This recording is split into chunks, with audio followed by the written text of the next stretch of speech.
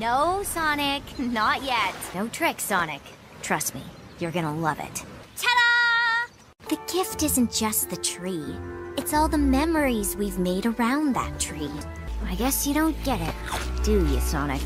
Why do I feel like Eggman's keeping us off the main stage? Let's go crash his show! And Tails never gets upset. Exactly. Let's go investigate and see if anything might lead us to this paradox prism you guys are talking about. Let's stick together and we'll... Sonic!